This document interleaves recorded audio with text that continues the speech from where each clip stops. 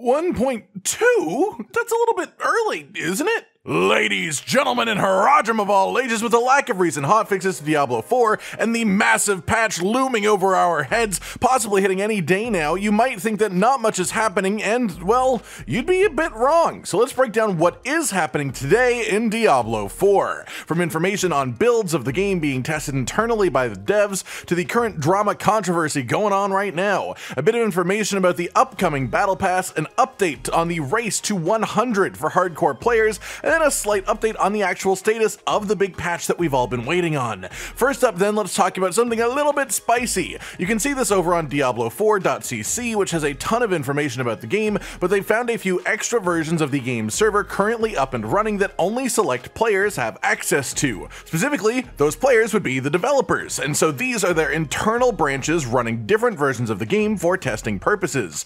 The 1.0.2.4 and 0.0.1.4 are of course a known quantity, but then very recently we had the addition of 1.1 and 1.2. If those numbers are any indication, these are more major build differences, and there are a couple of theories running about this as to what they could actually be. One of them is that 1.1 is the big patch that we've been told is coming, the one that we've been wanting to see. Tons of balance changes, lots of bug fixes and stability updates, and if we are lucky, also a little bit of quality of life too. 1.2, however, is a bit of an unknown. In this scenario, if 1.1 is the upcoming patch, then 1.2 is likely the patch that would hit right around Season 1, the one that would apply a lot of the actual meteor changes for that season. The one that in theory would have stuff like the Nightmare Dungeon changes that we were told about, where you'll be able to teleport directly to activated Nightmare Dungeons like they're a waypoint, which honestly in itself as a concept just really excites me. Cutting out the travel time when running Nightmare Dungeons just makes them so much more appealing. But back on topic, that is one option. The other option, of course, which is sort of fitting with 1.1 and 1.2 being more serious numbers,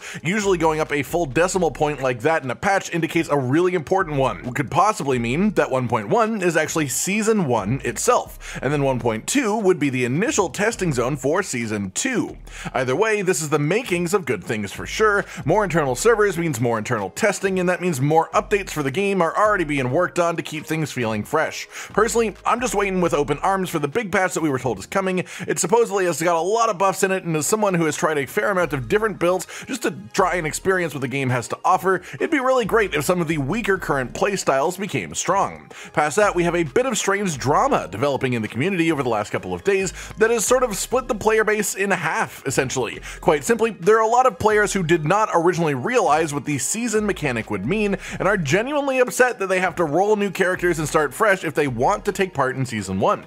I don't know if I'm out of touch or something, but I'm someone who likes ARPGs. I played a large majority of the seasons in Diablo 3, so that concept is just ingrained in my mind. It's just an accepted thing, and I generally think that it made the game more fun to have that too. Diablo 4 seems to have gathered a ton of attention from people who have never ever really dived into an ARPG, or at least those who haven't in the last 10 to 15 years, where that concept of seasons has really started to become more popularized. After all, even Diablo 3 didn't actually have seasons for nearly two years after its launch, so people who played a ton of that might not have even realized there were seasons in that game because again, it was two years after. The result is these players finding out what seasons actually mean now and having real complaints about it. And rather than try and spin my opinion on them, let's just show the actual things that people have been saying first, like our friend Paul here, a gaming focused writer for Forbes. He mentions not doing previous Diablo seasons and asks if he can progress the battle pass on an Eternal Realm character rather than making a seasonal one. The response from Rod Ferguson, GM of Diablo, says yes, you do actually need to have a seasonal character if you want to take part in the questline, mechanics, journey,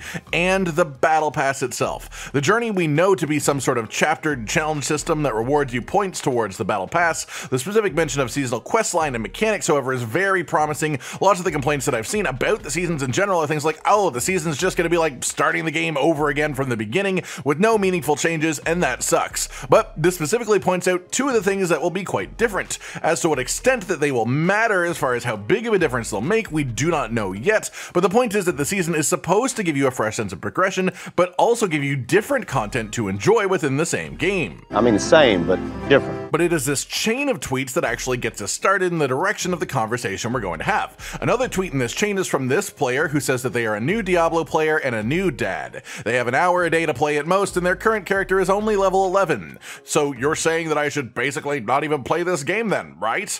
And that is just the totally wrong way of looking at it, honestly. Look, I get that. Uh, I'm a father of 15 and I have one hour a day to play. It's a, it's, it's a meme in the Diablo community right now, but it is also a real thing, of course, and that's why it's become a meme, is because there are a lot of people like this who just cannot be sinking six plus hours a day into the game, and that's fair. For those people, progression is a lot slower. But what is being missed here is that the seasonal realm is a separate place. It's not like the whole game gets reset when Season 1 releases. It doesn't delete your currently existing characters. It is a separate entity where things are a bit different. If you are someone who is only level 20 when Season 1 comes out, you probably would get more out of just continuing your Eternal Realm character. Actually enjoy the base game a little bit, maybe join in when it comes to Season 2. But if you are playing one hour a day, you still have a lot to gain without even considering the seasons. As is mentioned here in another tweet, where someone asks as a new player to Diablo, I can still play my main character when the season drops, I just won't be able to access seasonal content, correct? And Rod responds, correct. You're able to keep playing in the Eternal Realm if you do not want to participate in seasonal activities.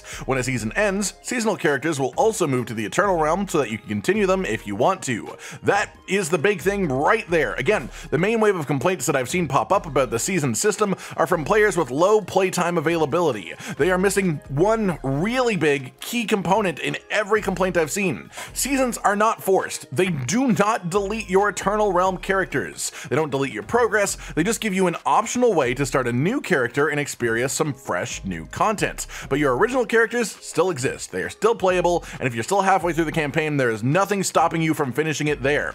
Seasons are not a deterrent for slower players. They're not a punishment for it, nor are they a reward for the faster players either. They are simply an optional secondary way to play the game that keeps it feeling fresh over longer periods of time. I hope if anyone who is unhappy about seasons is watching this, that might help them understand what they really are and actually make them a little bit more comfortable with it. Personally, I'm someone who loves the concept of seasons and I'll get a ton of enjoyment out of them, but I can understand the fear of it all if you just haven't tried it before and you have low playtime availability.